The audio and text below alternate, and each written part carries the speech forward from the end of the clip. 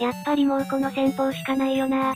一から育て直して、メスの個体にした上、努力値も全部振った上で、ドクドクメロメロをしたかったのですが、なぜかメロメロの技マシンがないですからね。イバルとドクドク、少しリスクが大きい気がしますが、これが今一番勝率が高い戦法なんじゃないでしょうか。晴れ空美なんていらんかったんや。私には、運ゲーの道しかなかったんや。ということで、皆さんこんにちは。お久しぶりでございます。暇ナッツ縛り、今回もやっていきますよ。技構成は、こんな感じです。忘れてしまっている人も多いかもしれませんが、このメザパは、悪タイプです。主な戦法として、基本はメザパークとヘドロ爆弾を使用し、リザードンやカビゴンといった反り立つ壁には、イバルドクドクを使用した運ゲーで勝とう、という感じです。まあ、いつも通りといえばいつも通りですね。持ち物も、先手でイバルができるかもしれないので、先生の爪を持たせています。奇跡の種を持たせた方が、ネタ感は出るのですが、そんなことをしている暇はないですからね。さて、私含め、どんな感じの戦闘か忘れている方も多いと思うので、レッド戦の戦い方について、それぞれ解説していきます。まず1体目、ピカチュウですね。ここは特に、苦戦する要素はないですね。ご覧の通り、甘えるをされても確定2発なので、普通にやっていれば、負けることはないですね。ただし、甘えるを2回以上されてしまうと、この後の戦闘が厳しいものになってしまいますので、その場合は諦めることにしています。2体目は、不思議花です。ここも基本的には、負ける要素が全くないですね。攻撃技はソーラービームしかないので、死にようがないです。ここで困る行動は、光合成連打による PP 削りと、日本バレをリザードンに引き継ぐことですね。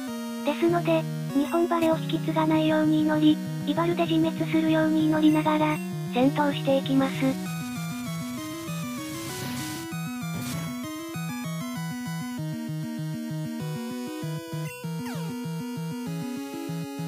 あ、ふーん。これはいけませんねと言っても、日本バレが切れるまで時間稼ぎをしたところで、光合成を連打されると余計に困ってしまうので、次のリザードン戦は、先生の爪で先生を取り、イバルを当てて、混乱で自滅してくれることを祈ります。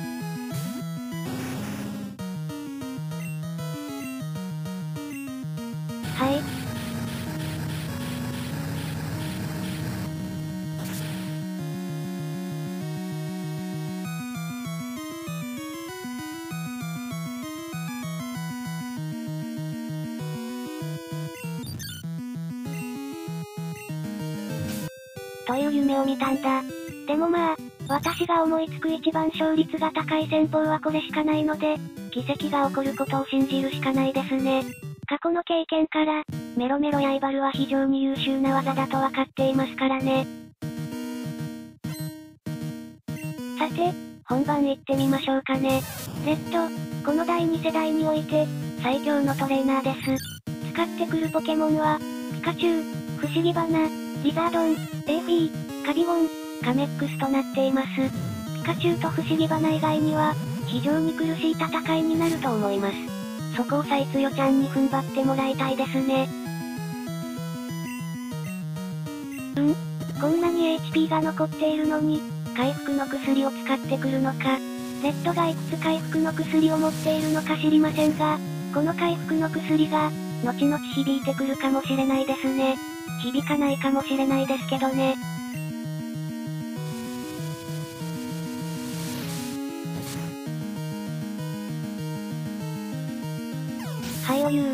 ず1体目のピカチュウは、余裕で突破です。お前は暇ナッツ以下の存在なのだよ。おとなしくジバニャンと、人気争いでもしてるんだな。ピカチュウ相手には、一度甘えるをされてしまいましたが、これくらいであれば、許容範囲だと思います。さて、2体目は、不思議花ですね。ここからすでに、お祈りタイムが始まっています。不思議花自体には苦戦することはないのですが、注意するべきことは、日本バレを引き継がないこと、HP を満タンにして、リザードンに挑むことですね。この2つさえ達成することができれば、正気が見えてくると思います。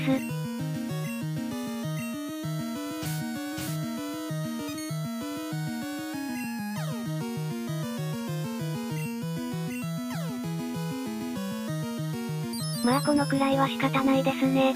理想を言えば、イバルでひたすら自分を殴ってもらうのがいいですが、世の中そんなにうまくいかないですからね。ここからうまいこと、HP を満タンにして、日本バレを引き継がないようにして戦っていきたいところです。神トレーナーである私の、腕の見せ所ですね。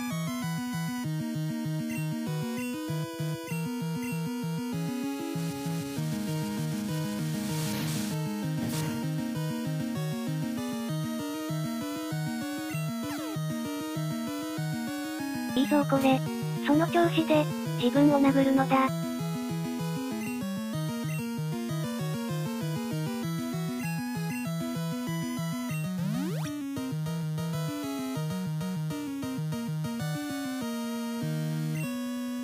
まあ、しょうがないですね。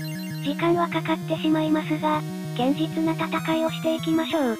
焦るとろくなことがないですからね。ちなみにですが、次に出てくるリザードンから受けるダメージは、だいたい230くらいとなっています。ですので、常にほぼ満タンでいないと、生きる保証がないです。ですので、こまめに回復して、ダメージを引き継がないように気をつける必要があるので、おこれはいい感じですね。うまいこと日本バレも切れましたし、HP 満タンの状態で、リザードン戦に挑めそうです。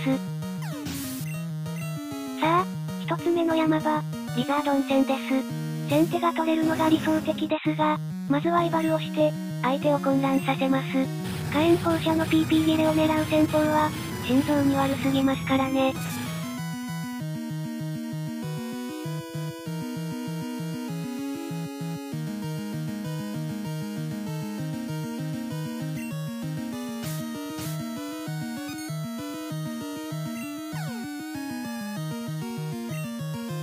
ここは相手が自分を殴ってくるまで、急所に当たらないように祈りつつ、回復を連打していきます。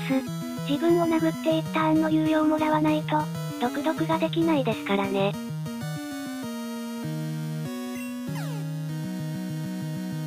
よすよす。非常にいい流れだと思います。毒々を巻いて、あとは急所に当たらないことを祈るだけですね。楽勝じゃないか。隙があれば、殴ってダメージを蓄積していきたいですね。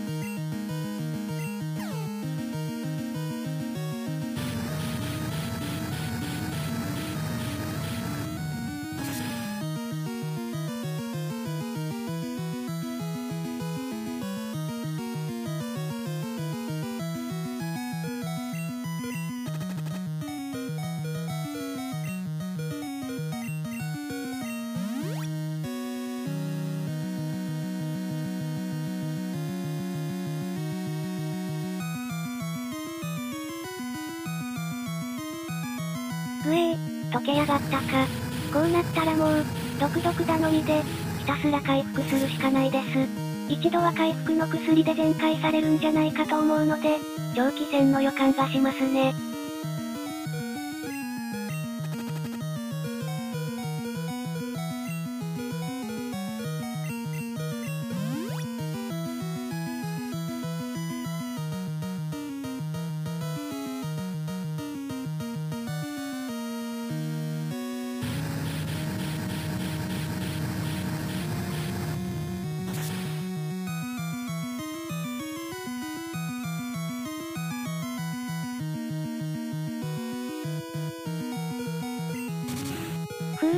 怖い怖い。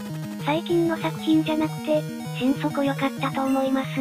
最近の作品なら、やけどのダメージを受けるタイミングが違うので、今のやけどでやられてましたからね。昔のゲームで良かったです。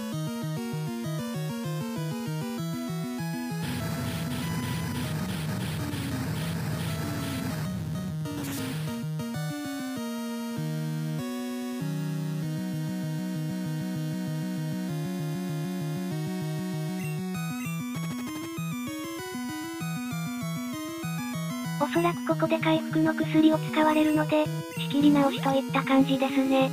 またイバル独特で、削り直していきたいと思います。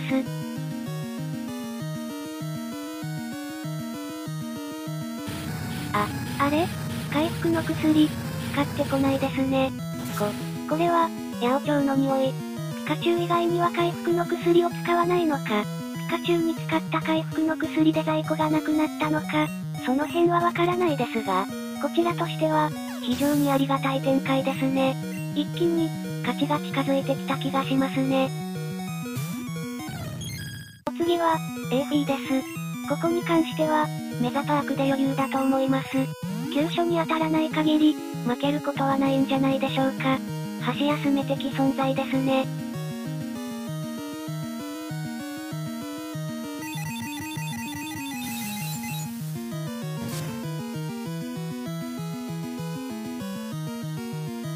あれ？ーアップねー。いきなりフラグを回収しそうになってしまいました。ここまで来て負けるわけにはいかないですからね。サイツヨちゃんよ。今は視聴者からの笑いなんていらないんだから、真面目に戦ってくれよな。頼むで。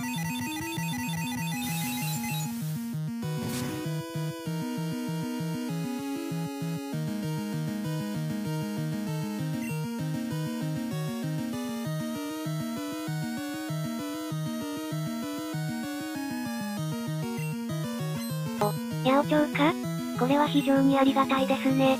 もはや私は、物理で殴る気がないですからね。その調子で、ひたすらリフレクターだけやっていてくれたまえ。さすがサイツヨちゃん、たった23しかレベルが違わない相手にタイプ不一致技を打ったのに、半分以上も削ってくれましたね。さすがですね。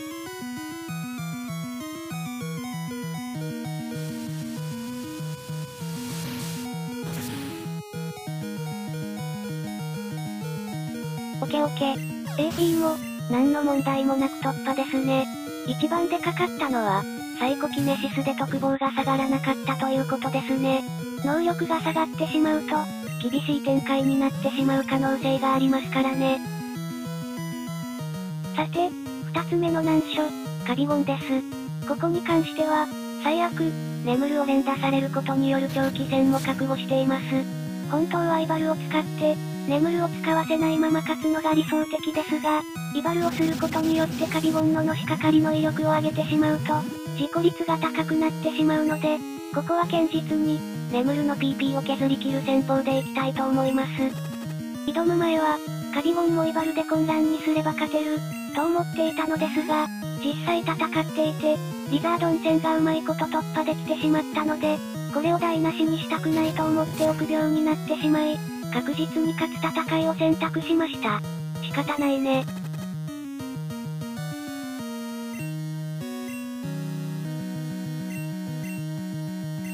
殴ろうかと思いましたが、急所に当たることによる事故が怖かったので、堅実に回復しておきます。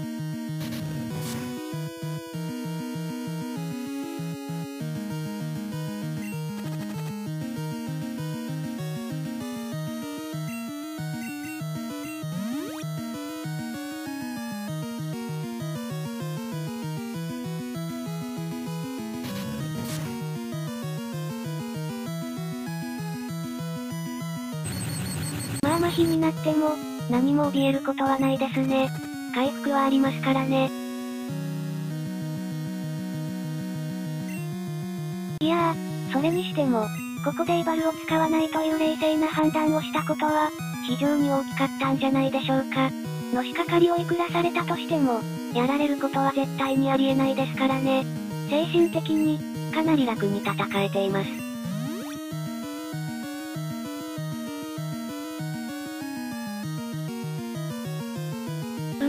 あ、あれ、ここで眠るを使わないのか。てっきり使うものだと思ってました。これはひょっとすると、眠るを使わせないまま勝てるのでは？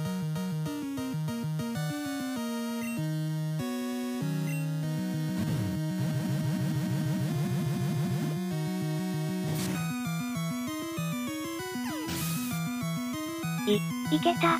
無理だと思っていたカビゴン、突破できてしまいました。ここまで来て、絶対に負けたくないですね。サイツヨちゃんよ、もうひと踏ん張りだ。あと少し頑張れば、お前の長かった旅は終わるんだ。最後まで気を抜くんじゃないぞ。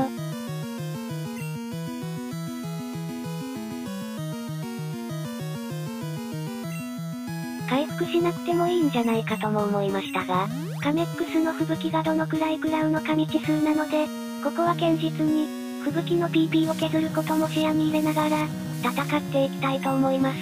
リザードンとカビゴンをうまく突破できるのなんて、100回に1回くらいしかないですからね。大事に行きます。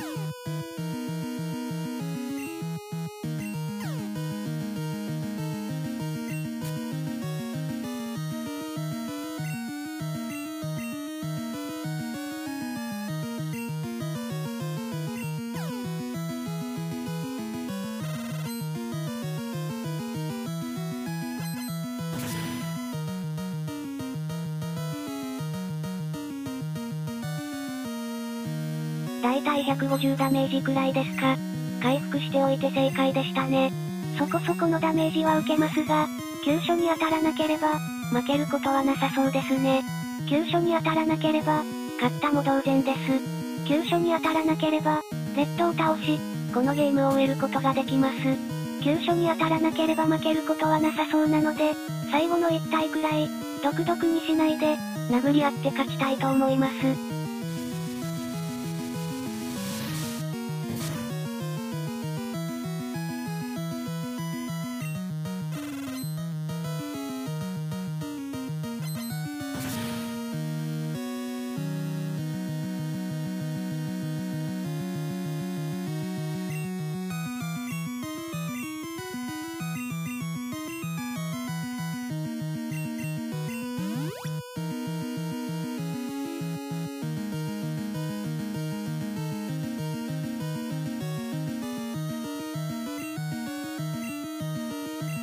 毒毒は使わないと言ったが、イバルも使わないなんて、一言も言ってないですからね。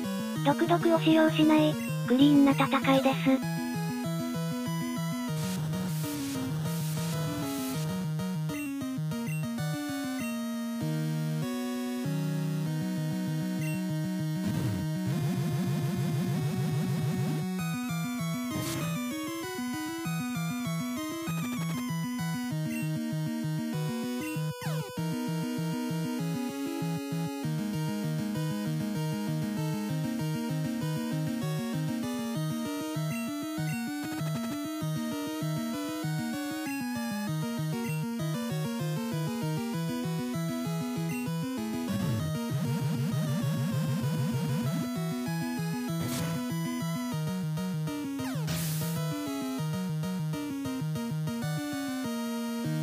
長かった。本当に、長かったです。サイツヨちゃんは、本当に、サイツヨだったんです。戦術は醜いものだったかもしれません。ですが、サイツヨちゃんは、レッドに勝ってみせたのです。レッドよ、お前が負けたのは、パワーでもスピードでもない、信じる心、そして何より、傷薬の物量が圧倒的に足りていなかったのだよ。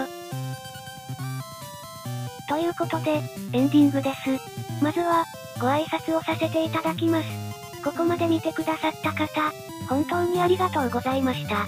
どのくらいの人が待っていてくれたのかわかりませんが、待っていてくれた方々、本当にありがとうございます。リアル世界の都合もあって、約半年の失踪があり、申し訳ありませんでした。ヒマナッツ縛り、いかがだったでしょうか私個人としては、一つだけ後悔している点があります。それは、四天王のあたりです。ゴールデンウィークに投稿したものなのですが、リアル世界の都合上、数日しか動画を作る時間がなく、なかなかひどい感じになっていたと思います。これからは、もう少し余裕を持って、動画を作っていければと思います。今後の予定は、特に決まっていません。また暇な時間があって、企画が思いつけば、投稿するかもしれません。次回作を投稿する機会があれば、失踪しないということを目標に、やっていければと思います。さて、お別れの時間が近づいてきましたね。ヒマナッツみたいなどうしようもないポケモンでも、ちゃんとレッドを倒せるんだということを証明できて、非常に良かったと思います。レッドを倒した瞬間は、久々に達成感がありましたね。これだから縛りプレイはやめられないぜ。ということで、暇ナッツ縛り、これにて終了です。重ね重ねになりますが、応援してくださった方々、本当に、本当に、ありがとうございました。それでは、失礼いたします。また会う日まで。